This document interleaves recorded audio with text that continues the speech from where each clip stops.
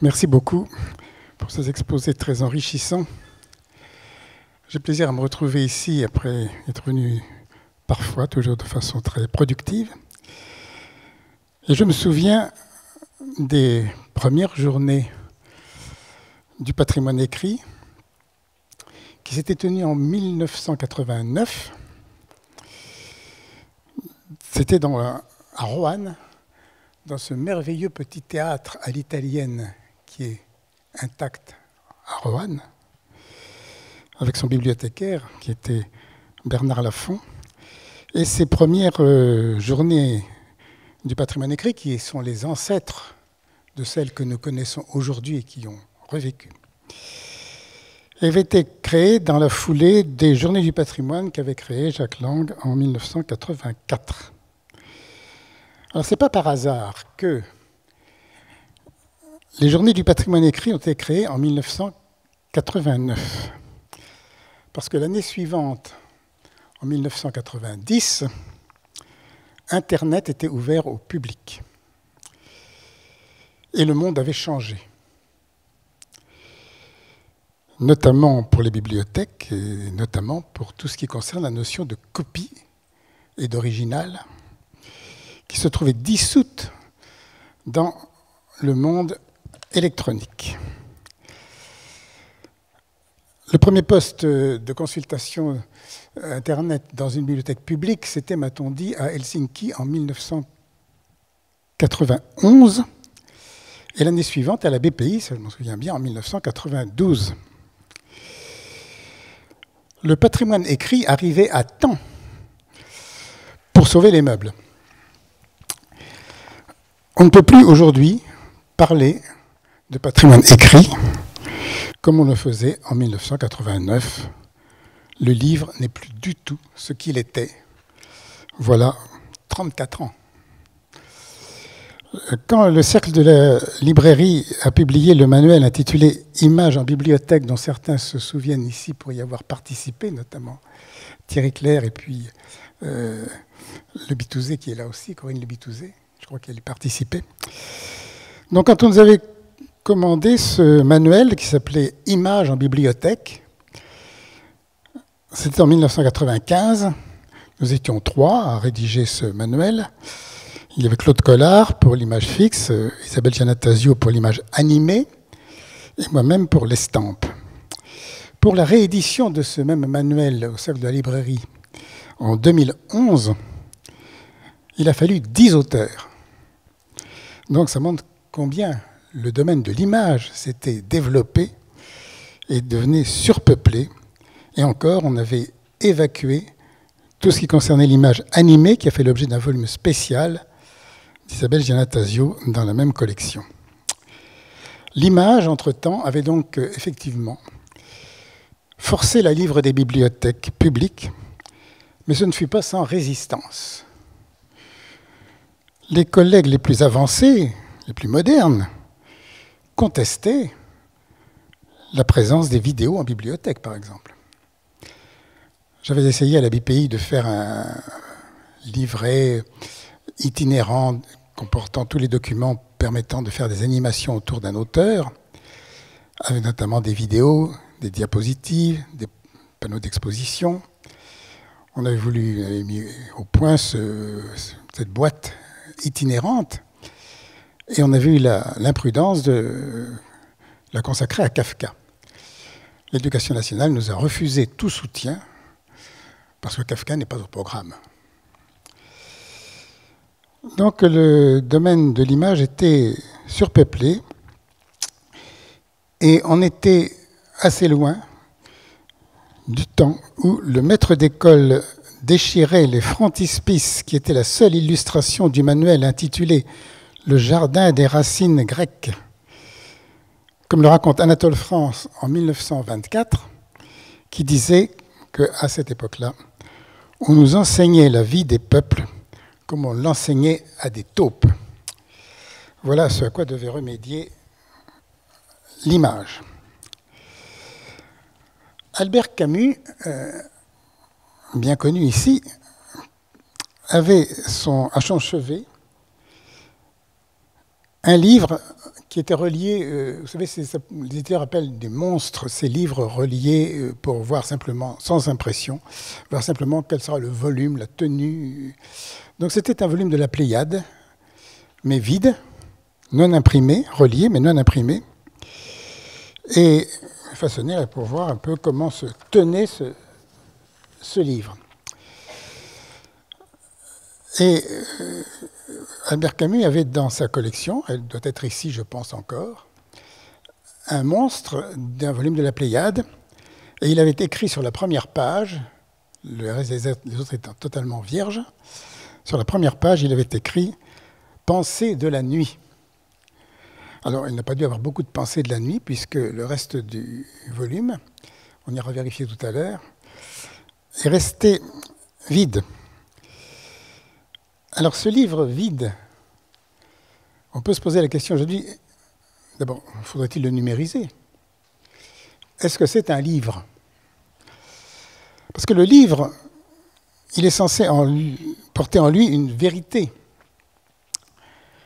un contenu, une vérité même partielle ou éphémère. Vous savez, les musulmans disent que le livre, c'est tout ce qui se trouve entre les deux couvertures. Cette autorité du livre est donnée par sa forme, et j'aime bien l'expression de Maximilien Vox, le grand graphiste qui appelait le livre un rectangle pensant. Le livre, en effet, résonne, parce que d'une feuille plane, en deux dimensions, il suffit de la plier une seule fois, et on est tombe dans la troisième dimension avec cette fois quatre faces, deux versos, deux, euh, de part et d'autre, vis-à-vis. Donc on est dans un monde en trois dimensions tout à fait différent de la... Une affiche, ses plans, ça, ça proclame. Un livre, on commence à dialoguer. Le livre a été le noyau de la, philosophie, puisque c'est par le livre que l'on peut commencer à avoir un dialogue. Et les formes du livre, à partir de ce moment-là, sont extrêmement variables. On peut avoir des livres qui ont des formes de cœur. Il y a des livres qui sont en rouleau, comme celui que vous avez sous les yeux. Là, c'est le manuscrit de Sur la route de Jack Kerouac, 40 mètres de long, qu'il a écrit, tapé à la machine plutôt, et il l'a écrit en trois semaines. L'écran de l'ordinateur euh, ne peut pas faire ce genre de performance. Il ne se prête pas à ces fantaisies de rouleau, de plis, qui fait la force, l'autorité du livre sa facilité à parler, à nous parler. Alors comment expliquer, ceci dit, la persévérance du livre face à cet outil prodigieux qu'est l'ordinateur? Parce qu'on trouve sur l'écran tout ce qu'on peut trouver sur un livre. On y trouve des lettres, des chiffres, des images fixes et même, plus qu'un livre, des images animées qui sont en plus accompagnés d'un fond sonore, d'une musique. Mais la page peut aussi rester vierge, comme c'était le cas des Pensées de la nuit d'Albert Camus. Quant au livre, c'est très différent. Le livre a un poids que n'a pas le numérique. Il a une transparence que les papetiers appellent les l'épère de la qui est sa consistance, sa texture. Il a son format, on le voit bien ici. Il a parfois aussi ce livre des déchirures, des souillures. C'est très important parce que pour les collectionneurs, un livre annoté ou souillé peut lui donner ou lui retirer totalement sa valeur marchande. Et c'est important pour les collectionneurs et pour les marchands. Alors ouvrir un livre, puisque le livre matériellement s'ouvre, c'est prendre la route, comme le montre Kerouac. Ouvrir un ordinateur, c'est tout à fait différent. C'est pas ouvrir la route, c'est prendre la mer. Parce que le livre reste sur le rivage, il veille. Le livre est là, comme l'a très bien expliqué Andrew Piper, cet auteur canadien dont je vous conseille la lecture, puisque c'est un essai sur que devient le livre dans l'heure électronique. Donc le livre est reste là, il est là. Il, il offre un refuge fixe, perpétuel, à l'abri de l'histoire. Alors qu'un écran, ce n'est qu'un ciel de passage pour des oiseaux migrateurs. On peut voir sur YouTube un reportage impressionnant. Voilà. Alors là, on en reparlera pour le problème des droits, puisque vous voyez qu'il est siglé Getty Image. Cette euh, image, qui représente une procession de moines euh, bouddhistes actuels, ils sont en train de défiler en file indienne en suivant un parcours compliqué qui suit le dessin d'un mandala.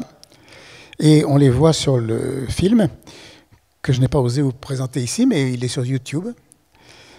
On les voit marcher d'un pas vif, en portant sur la tête ou sur les bras des objets noirs, plats et rectangulaires.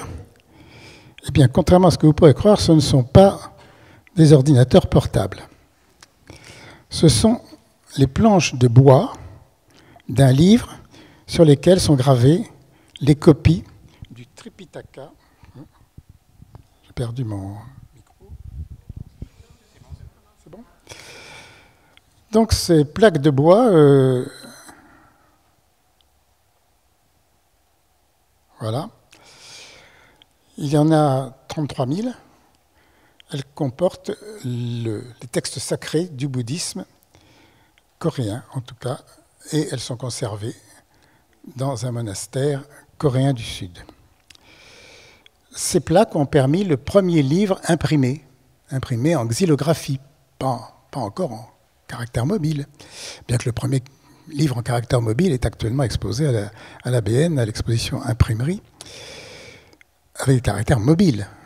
Mais là, c'était des caractères fixes, comme vous le voyez, sur ces plaques de bois que l'on mettait les unes au bout des autres et qui ont formé au XIIe siècle le premier livre imprimé. Avant les rituels que nous avons vus tout à l'heure, il y avait euh, le livre sur plaque étaient conservés dans des bibliothèques soigneusement enveloppées d'un velours rouge que l'on n'avait pas le droit de toucher.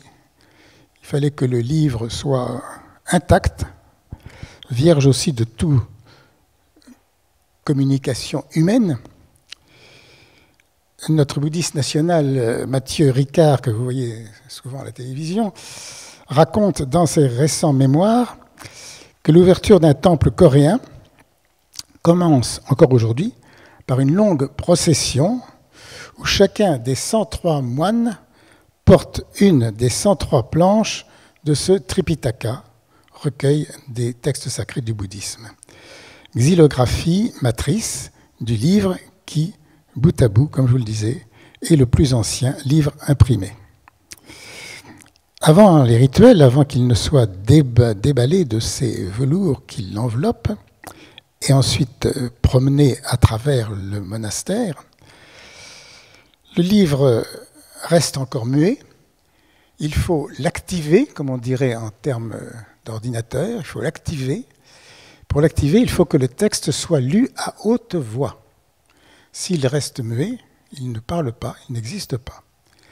Donc les moines se relaient et pendant 15 jours, paraît-il, lit intégralement les plaques de bois pour réveiller, pour activer le livre. Dans d'autres religions, euh, pour être activé, le livre muet doit être inondé, baigné par une eau lustrale qui va lui redonner sa vivacité. Le livre est donc le coffre-fort des religions. Et le livre sacré ne sera activé qu'après ces rites. Au XVIe siècle, le Guru Granth Sahib, c'est le livre sacré des Sikhs qui a été rédigé au Punjab à partir du XVIe siècle. Et ce livre est considéré par les Sikhs comme une personne. C'est un gourou. C'est lui qui dicte votre vie. Le livre est porteur physiquement d'une force qui subsiste encore dans notre religion chrétienne. On sait que le livre, par exemple, physiquement, a une force spirituelle. On le voit là lorsque l'évangile est exhibé dans une église, ou lorsque un livre sert pour porter serment, comme c'est le cas de tous les jurés, mais ici du président de la République des États-Unis.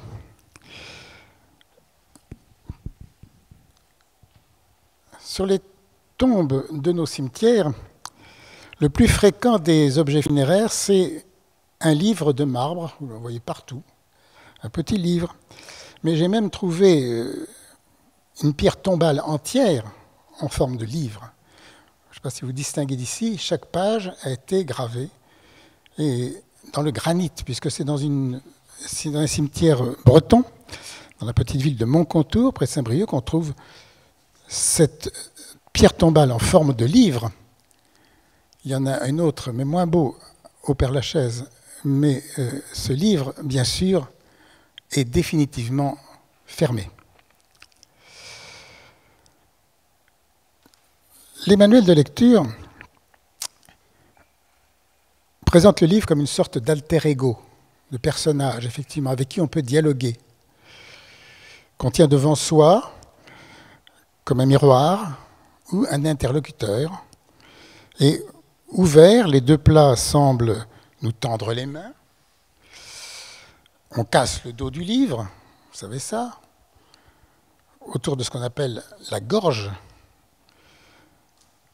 Et c'est ce fossé qui sépare les cahiers qui permettent justement de faire du livre un être vivant.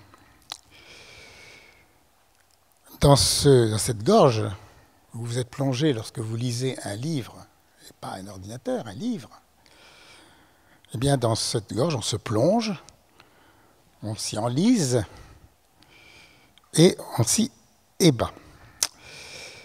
Quand l'ordinateur a pris la place du livre, disons dans les années 1990, on a cru que le livre allait disparaître.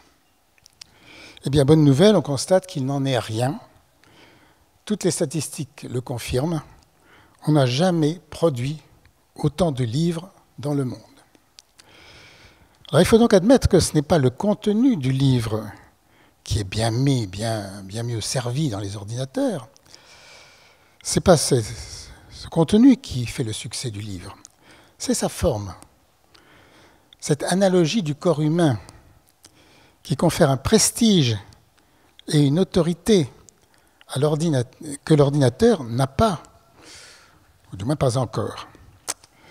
On a longtemps défini le livre comme support de l'écriture. On considérait l'écriture comme un substitut de la parole.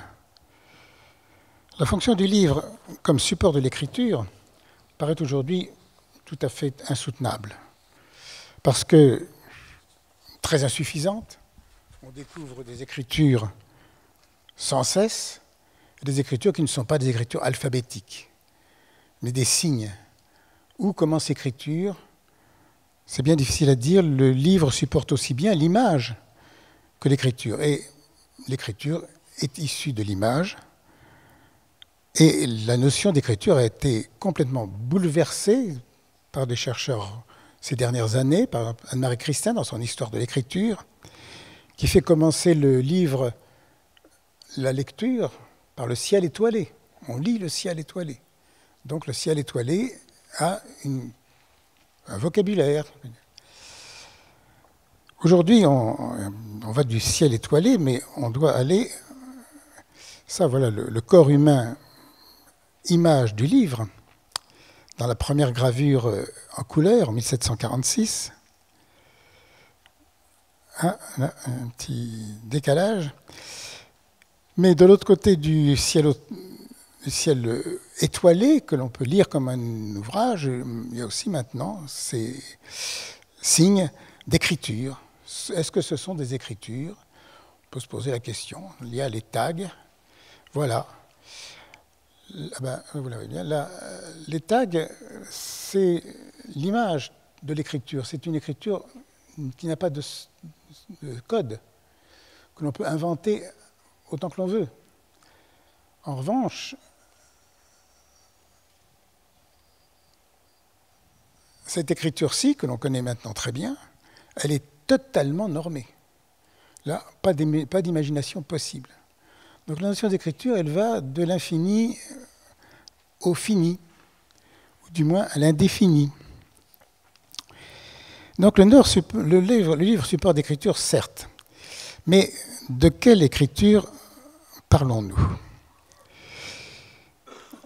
Les frontières de l'histoire de l'écriture ont été sans cesse reculées. Ces dernières années, de grandes découvertes ont complètement ouvert la notion d'écriture. En 2007,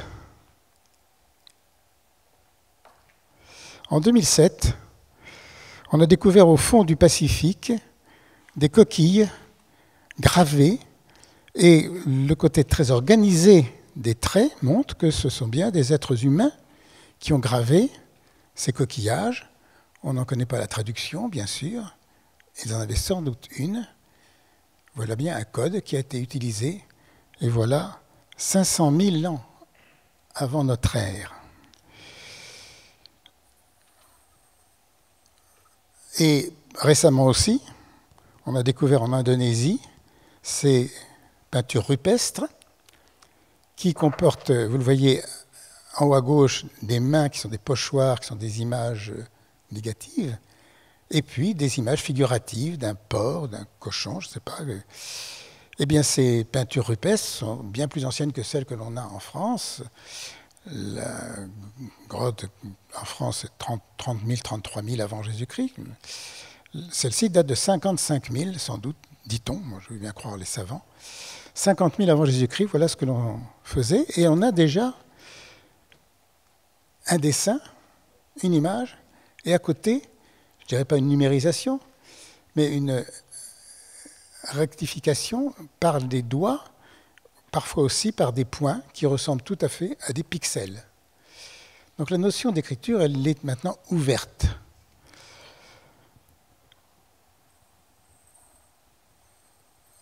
Si toutes les traces qui sont destinées à être lues peuvent appeler écriture, alors il faut admettre qu'il y a des écritures, ah ben voilà les pixels de la grotte Chauvet.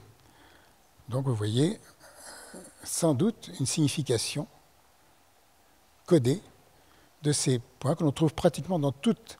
On, voit toujours dans les reproductions les images figuratives des très magnifiques cerfs au, au roc, mais dans toutes il y a cette dimension numérisée de l'image.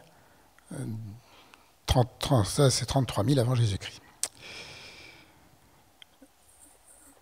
Mais il y a, puisqu'on admet que toute écriture régulière a un sens, il faut y comprendre ce extraordinaire dessin qu'un poisson qui s'appelle le fougou.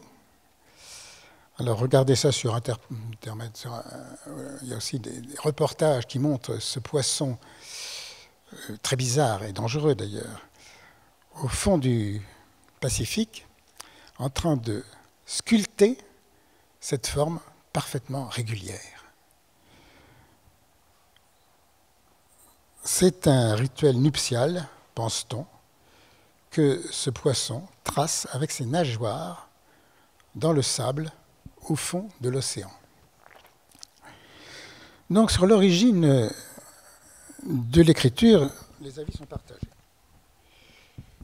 Toutes les histoires de l'écriture sont légendaires. Toutes les religions commencent par raconter comment tel ou tel Dieu a inventé l'écriture.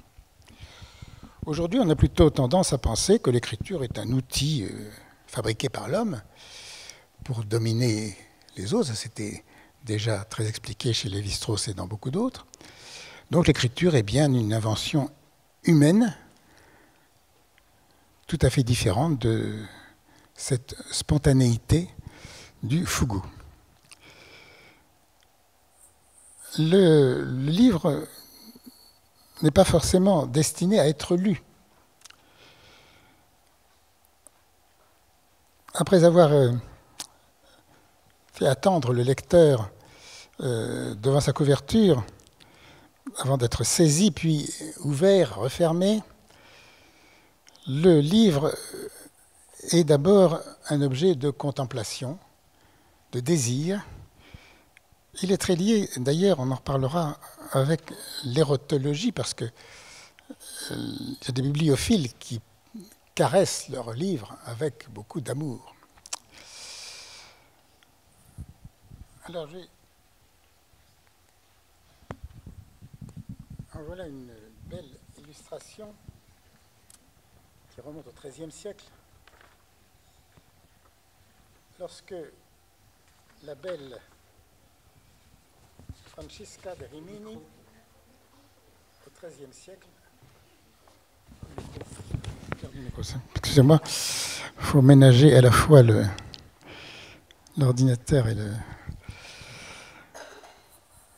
Alors voilà, l'histoire extraordinaire de, qui est très liée à ce qu'est un livre vivant.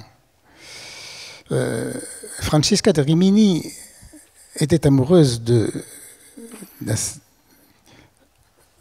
prince, mais son père n'était pas de cet avis et il surprend les deux amants un jour en train de lire un livre qui était euh, malheureusement le, un livre laïque et même profane, euh, c'était le, les livre de le prince de Guenièvre dans le, cycle d'Arthur. Donc voilà les deux amants qui lisent un livre d'amour et qui est raconté par Dante dans, euh, dans son livre, mais la pauvre Francesca, Dante l'a envoyée en enfer parce qu'elle fait quelque chose de prohibé qui est de lire ce livre profane, amoureux. Donc euh, Francesca est amoureuse, elle, de Paolo, et pas du vieux à qui elle était destinée. Et toute une série, c'est devenu très à la mode à l'époque romantique de représenter cette scène, qui est des dizaines de tableaux, qui montrent Francesca en train de lire. Alors, dans ce premier, euh, premier état, elle est bien installé. Le livre est confortablement installé sur ses genoux. Il s'étale. Vous voyez qu'elle met son doigt dans la gorge pour ne pas que le livre se ferme. C'est presque déjà une invitation. Ensuite, la voilà encore. Euh, l'ouverture est plus prononcée et l'amant plus pressant dans ce livre d'amour. Voilà, la situation s'aggrave. D'ailleurs, on voit le, père qui, dans le fond de la pièce, euh, arrive avec son épée. Il veut les tuer. Alors voilà Francesca et Paolo en train de lire. Là, le livre est carrément ouvert hein, sur ses genoux. Puis, dans les, on est presque au, un moment décisif, et ça, c'est le tableau de Ingres, qui en a fait sept d'ailleurs sur ce thème. Et là, on voit Paolo qui passe à l'acte, si je pourrais dire. Et euh, le sort du livre euh, est suspendu au doigt de la belle Francesca. Et puis voilà, elle le laisse tomber. Ça, c'est fatal. Le vieux se prépare Et les voilà, donc ça c'est la deuxième version du tableau de Ingres, celui qui est à Chantilly, je crois. Et puis ça se complique encore. Là, le livre est par terre, il est définitivement ouvert, froissé, pendant que euh, l'amoureux saisit. Et là, ça devient dramatique. C'est un tableau de Charles-Édouard Halley, le, livre, comme vous le voyez à droite, est en très mauvais état. Il est froissé. Mais le pire, c'est lorsque le vieillard est passé et que le livre que vous voyez en bas est tombé définitivement, inerte. Et le tableau, c'est celui d'Alexandre Cabanel, qui est au musée d'Orsay, qui offre ce spectacle navrant des deux corps assassinés le livre gît à terre, son souffle s'est éteint avec celui de ses lecteurs. Je parlais tout à l'heure du livre érotique. Le bibliophile Asselineau parle à propos du livre de libricité.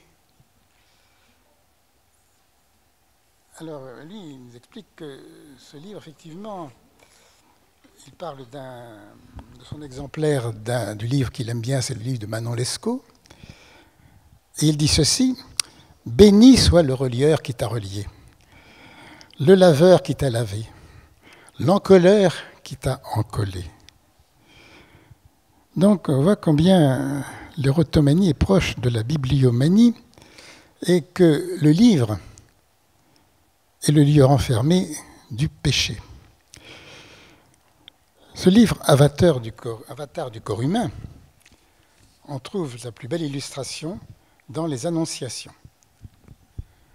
C'est le même phénomène de, du livre vivant. Dans les Annonciations, on trouve pratiquement toujours un lys et un livre devant la Vierge qui reçoit Gabriel. Alors un lys, on le sait, c'est le symbole de la virginité.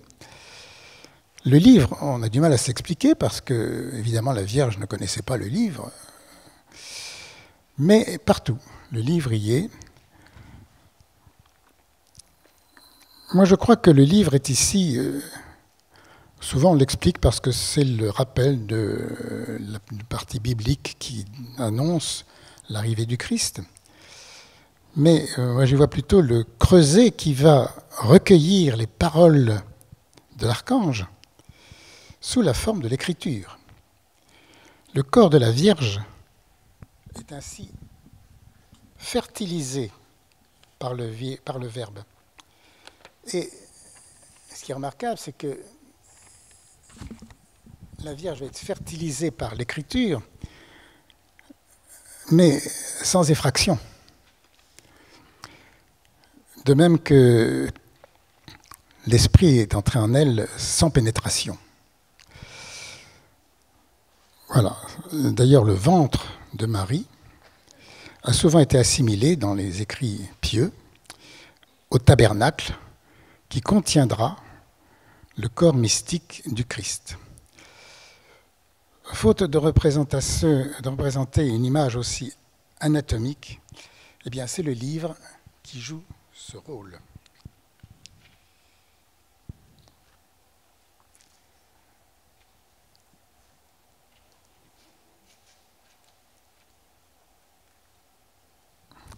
Il n'y a pas que du déchiffrement donc, dans la lecture. Il y a, et là on touche à l'objet livre, matériel. Il y a une cérémonie, il y a une liturgie autour de la lecture une dramaturgie dont le scénario est inscrit dans la forme de l'objet lui-même. Plié, déplié, replié, puis reposé. Et d'ailleurs, le fameux livre de Mallarmé, dont les vestiges sont aujourd'hui à l'université de Harvard, ce livre par lequel tout doit finir, selon Mallarmé, il est conçu non pas comme un, pas comme un objet, mais comme un spectacle. Ça peut être une messe, ça peut être un tour de magie, Donc Mallarmé euh, raconte la liturgie autour de ce livre qui s'adresse à un nombre précis, mathématique, de lecteurs qui doivent faire tel geste, replier les planches, les ranger, les redéplier. Tout un rituel qui est dirigé et euh, Mallarmé emploie le livre d'opérateur comme pour une machine. Le livre est un voyant. Il connaît l'histoire qu'on va lire. Il sait les réactions qu'il va provoquer. Il donne la réplique. Et dans la représentation des signes, des scènes où le livre apparaît, ce n'est ni un décor, ni un attribut. C'est un acteur et parfois même un démon. Contrairement aux ordinateurs d'ordinateurs, le livre est un objet qui est fait de manière organique, du papier, de l'encre, des peaux. Donc, même nature que le corps humain, prisonnier comme lui d'une enveloppe dont rien ne peut s'échapper. Comme notre vie, le livre s'ouvre et se ferme, mais avec ce prodige qu'il demeure là. Book is there. Avec ce prodige qu'il demeure sans changer de forme lorsqu'on l'a fermé. Ainsi, dans le livre, chacun a rendez-vous avec l'éternité. Accompagné de son livre de vie, c'est là où je voulais en venir pour montrer cette extraordinaire fresque de la cathédrale d'Albi, où l'on voit les élus présentant leur livre ouvert devant le juge suprême cathédrale d'Albi, XIIIe siècle, avec ses fresques extraordinaires, où la foule des vivants, nus, présente à Dieu leur livre comme un passeport. C'est celui de leur vie. J'ai entendu l'autre jour le comte Sponville, le philosophe, dire que le seul examen où tout le monde est reçu, c'est la mort. Élus et reprouvés, les voilà, les morts, qui sont vêtus de leur seul livre. Mais avec leur livre ouvert, ils sont encore plus nus que nus. Les pouvoirs qu'on prête au livre ne sont pas liés à son contenu, donc, mais bien à sa structure même.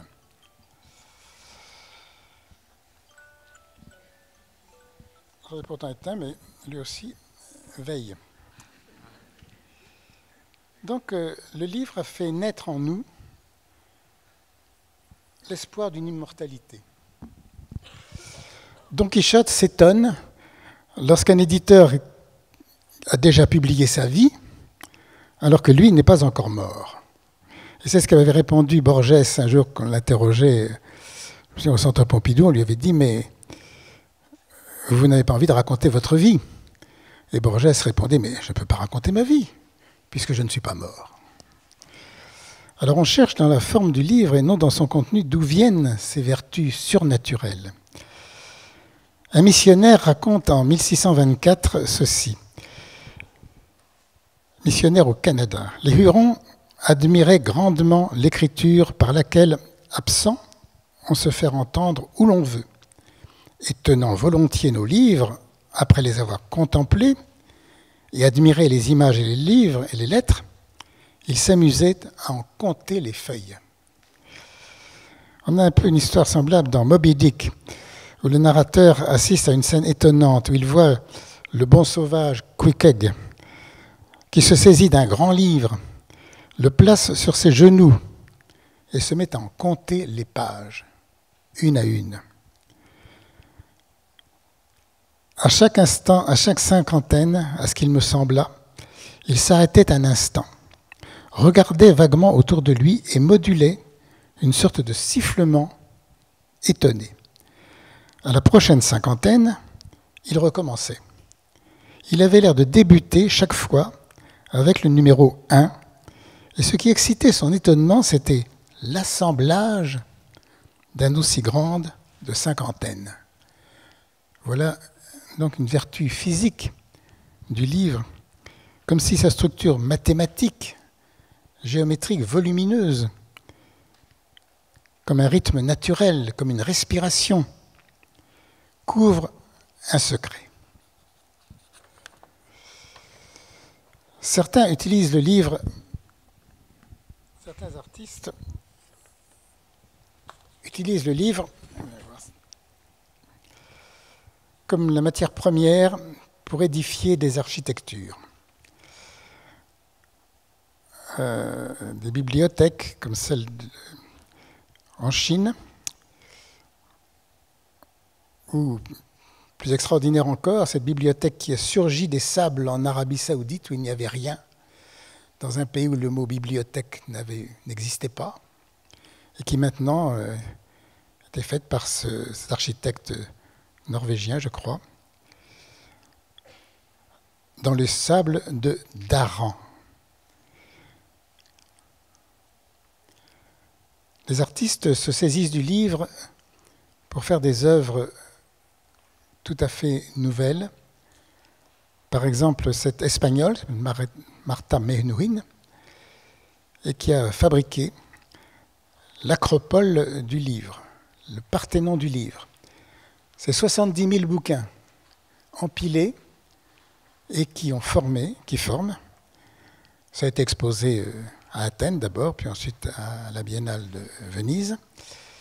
Donc voilà un Parthénon, grandeur nature, fabriqué avec 70 000 livres les uns sur les autres, et qui a un sens politique, parce que ces livres sont uniquement des livres qui ont été interdits ou censurés, souvent en beaucoup d'exemplaires pour permettre d'en trouver 70 000. Voilà où peuvent aboutir les livres aujourd'hui dans des œuvres d'art. De cette marée de livres, quelques rares exemplaires vont échapper au pilon ou seront numérisés. Ce, sera encore des livres. Vous savez l'histoire de La Fontaine, le prix, Nobel de 1913, euh, cet avocat qui, avec le bibliothécaire Hotley, ont cru pouvoir conserver toute la mémoire du monde en conservant uniquement les références dans leur centre de bibliographie internationale. Bon, aujourd'hui, ça ne sert plus à grand-chose. C'est devenu un musée dont le décor a été réalisé par des dessinateurs de bandes dessinées de science-fiction et qui se trouve maintenant à Mons, le monde d'Anéum, qu'il faut voir. Mais désormais, euh, la copie numérique, dématérialisée, intégralement, va grossir les gigantesques silos en Alaska. Là, je crois que c'est euh, euh, Google, je crois. Facebook. Donc les silo, ferme numérique de Facebook, qui se passe au nord de la Suède, parce qu'il faut se méfier du réchauffement climatique. Donc on abrite ces immenses silos. Voilà le parcours du livre. À gauche, vous avez, tout à l'heure, c'est les tablettes de bois, les 80 000 tablettes de bois du Tripitaka que l'on voit euh, promenées par les moines et qui forment à elles toutes un livre. À droite, vous connaissez, c'est la bibliothèque, la magnifique bibliothèque de Troyes avec la bibliothèque de. Et puis en bas, eh bien, c'est les silos de Google, mais qui ressemblent sans doute à ceux de la Bibliothèque nationale ou d'autres. Mais jadis, voilà d'où vient le livre. Vous voyez qu'il a subit un sort quand même assez remarquable et qui cède le, pas, c'est vrai, maintenant, à l'image. Euh, jadis, euh, pour garantir l'authenticité d'un fait, on donnait sa parole. Puis, euh, cette parole, ça ne suffisait pas, alors on l'a écrit, on l'a donné, on l'a dessiné, on a dit des, des sceaux des signatures pour vérifier l'authenticité du document. Puis ensuite, on a fabriqué ça avec des images, des empreintes digitales, avec l'iris de votre œil qui permet de vous identifier. Et aujourd'hui, par des codes chiffrés. Ce qui a disparu dans cette extraordinaire épopée de l'écriture et du livre, ce qui a disparu, c'est la langue. Et la langue, c'est notre patrimoine premier. C'est le bien commun de l'humanité, c'est le seul bien qui ne soit pas susceptible d'être euh, de donner droit à un droit de propriété. Vous n'êtes pas propriétaire, vous ne pouvez pas, pas de droit d'auteur, pas de droit d'auteur sur la parole. Alors aujourd'hui, je pourrais être poursuivi sans doute par les agences qui ont fabriqué ces images qui leur appartiennent maintenant, mais pas sur ma parole. Je peux dire ce que je veux, je ne serai pas condamnable. Alors il est important de cultiver le livre pour que notre pensée, même non reproductible, pour que notre pensée ne tombe pas en friche, pour qu'elle ne soit pas asséchée par les chiffres, mais qu'elle ne soit pas non plus étouffée par les images. Il faut que ce soit un alliage harmonieux entre l'exactitude, le respect d'une vérité, et la liberté qui permet l'imaginaire. Donc ainsi on obtiendra un livre, on pourrait dire aussi une œuvre d'art. Je vous remercie.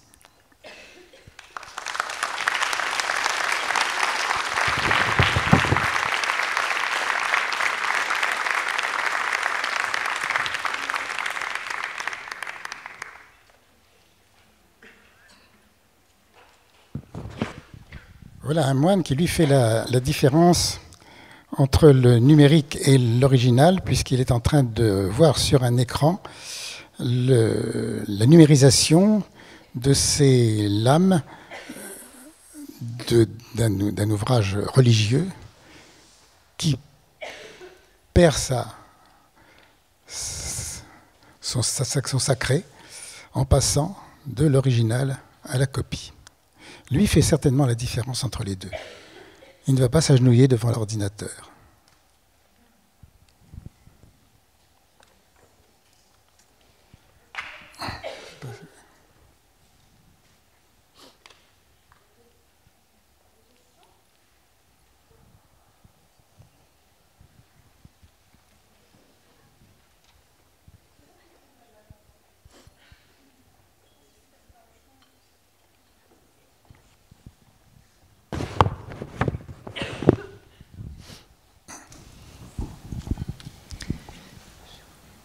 Monsieur Melot, une question pour euh, se lancer. Avant l'apéro qui m'est réclamé par mon voisin de droite, euh, j'aurais voulu savoir ce que vous pensez de l'intégration de la bande dessinée dans l'image euh, telle qu'elle est le sujet de nos journées. Merci.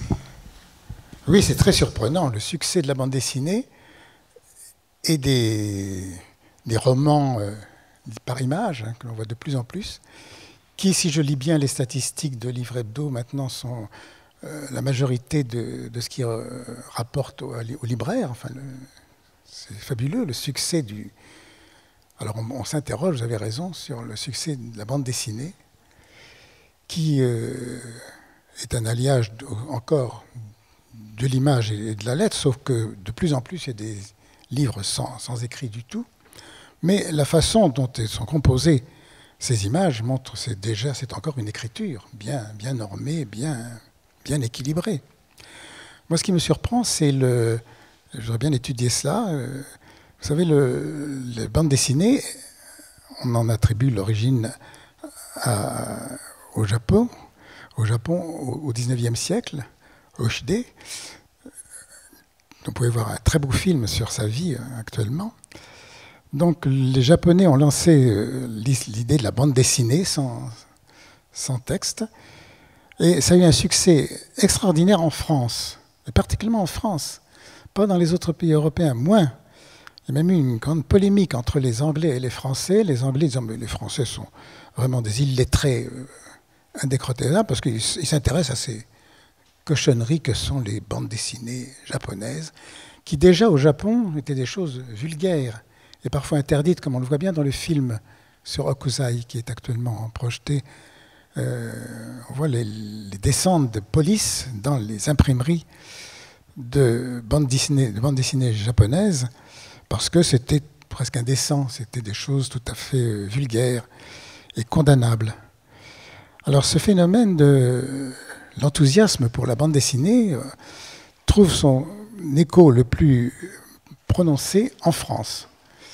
Beaucoup plus encore qu'aux États-Unis, mais en France et au Japon, bien sûr, où euh, les petits bouquins se vendent par millions. Donc là, il y a un problème. Pourquoi le, Japon et la France ont-elles euh, sa coqueluche, la coqueluche de, la bande dessinée et des mangas? Euh, Mes petits-enfants ne lisent que des mangas. Alors moi, je n'arrive pas à lire des mangas. Déjà, le sens de la lecture n'est pas le même. la composition est de plus en plus euh, du montage cinéma, avec des, et puis l'écriture est souvent réduite à des onomatopées, euh, avec une typographie extravagante. Donc c'est un phénomène qui est tout à fait passionnant. Moi, je n'en ai pas la, raison. Mais en tout cas, euh, c'est actuellement la bande dessinée qui, je m'adresse ici au directeur du livre, fait une grande partie du chiffre d'affaires des éditeurs et des libraires.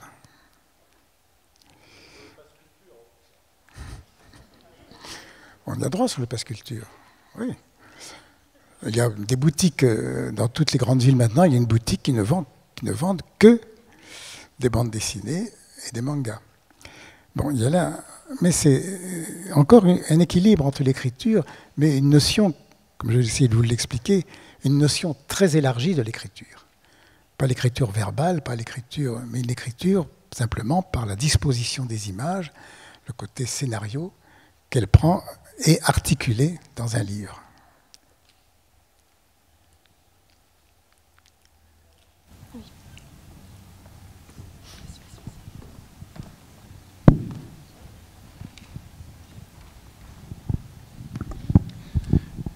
J'ai une, question euh, pour vous également qui avez beaucoup réfléchi à ces, à ces problèmes. Mais vous avez beaucoup parlé dans, votre conférence de, de, ce rapport du livre à la vérité, à travers en tout cas plusieurs, plusieurs étapes, plusieurs éléments de démonstration, ce rapport très fort qui fait aussi que, les bibliothèques qui ont été le réceptacle de ces livres, qui sont le réceptacle de bien d'autres choses en matière d'information également, ont toujours été des lieux euh, qui ont été des lieux de classement des livres et donc d'une certaine approche de la vérité. Il y a un livre de Roger Chartier qui s'appelle L'ordre des livres d'ailleurs, qui est assez intéressant de ce, de ce point de vue-là. Et nous nous intéressons aujourd'hui euh, à cette partie particulière des fonds des bibliothèques qui sont ceux des images, que nous avons essayé aussi d'ordonner, de mieux ordonner, de décrire, pour les rendre plus visibles, notamment en les dématérialisant. Et est-ce que vous n'avez pas l'impression que ça peut être tout aussi bien un exercice de vérité ou d'ordonnancement de la vérité, cette mise euh, en catalogue de ces images, qu'une voie ouverte vers toutes les forgeries que les nouvelles technologies vont permettre, notamment avec ce que nous allons aborder, ces questions d'intelligence artificielle. C'est-à-dire, est-ce que les bibliothèques, précisément, vont permettre de revenir du côté de la raison et d'un certain ordonnancement de la vérité, ou vont demain être les réservoirs de tous les matériaux de forgerie possibles dont nos contemporains sont tout à fait friands aujourd'hui oui, bien sûr. Euh, moi, je ne suis pas trop inquiet. bon, l'intelligence artificielle offre des perspectives qui nous fascinent, mais vraiment, euh, il y a toujours eu une intelligence artificielle. Il y a aussi accompagné de l'intelligence artificielle une stupidité artificielle.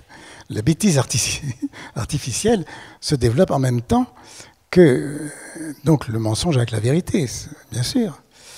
Donc c'est on peut, on peut être inquiet, mais je ne crois pas, parce que vous savez, quand, on voit comment étaient faits les journaux au XIXe siècle, avec toutes les images étaient retouchées. on gommait les personnages, enfin ça s'est fait souvent. Donc le, trucage de l'image que permet l'intelligence artificielle, c'est pas nouveau du tout, on a toujours vu. Euh, à l'époque des iconoclastes au 7e siècle à Byzance, on faisait du trucage comme ça, comme on l'a fait ensuite sous Staline, on supprime des personnages, des photos. Donc euh, l'intelligence artificielle, là, ne me paraît pas apporter vraiment quelque chose de tout à fait nouveau. Mais où vous avez raison, c'est que, et ça c'est bien la propre du livre, il y a à la fois de la vérité et du mensonge dans l'image, dans, le livre, parce que dans le livre, il y a de l'image et de l'écriture. Il y a le côté euh, de l'instinct naturel de ce poisson prodigieux qui fait sa géométrie au fond, et qui est une vérité, une vérité physique, une vérité mathématique. Et puis en même temps, euh, la, fantaisie que permettent les. Ce qu'on a vu tout à l'heure avec les, les tags. Donc il y, a de tout du côté euh, de l'invention et du respect. Voilà, alors on ne sait pas de quel côté ça va tomber. Les deux sont, sont toujours présents. Moi, ce qui me surprend, pour parler des bibliothèques, c'est pour ça que je voulais mettre absolument ces bibliothèques fantastiques. Il y en a beaucoup d'autres. Hein.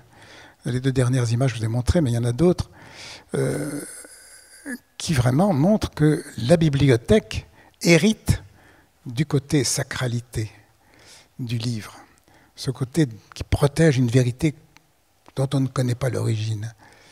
Euh, c'est vraiment extraordinaire, ces, bibliothèques.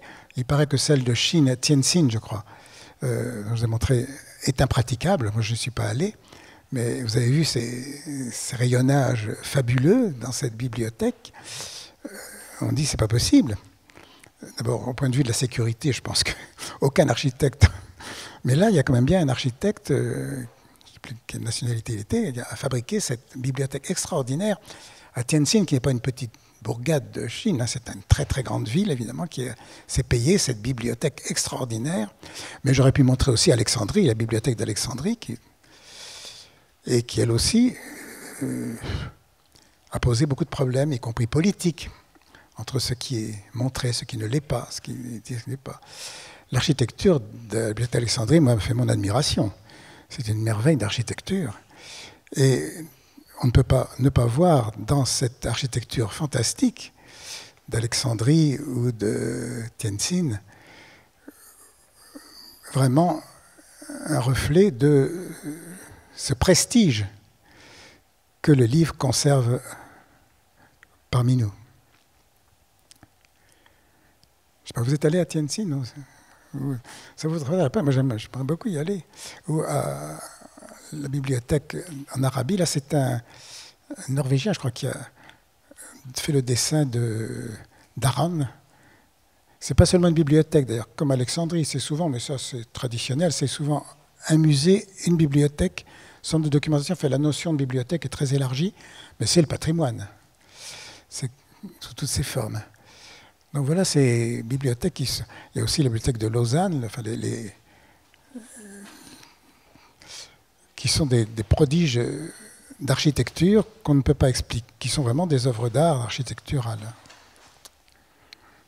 Oui, on ne sait pas si ça va tomber du. ça peut servir le mensonge comme la vérité. Et oui.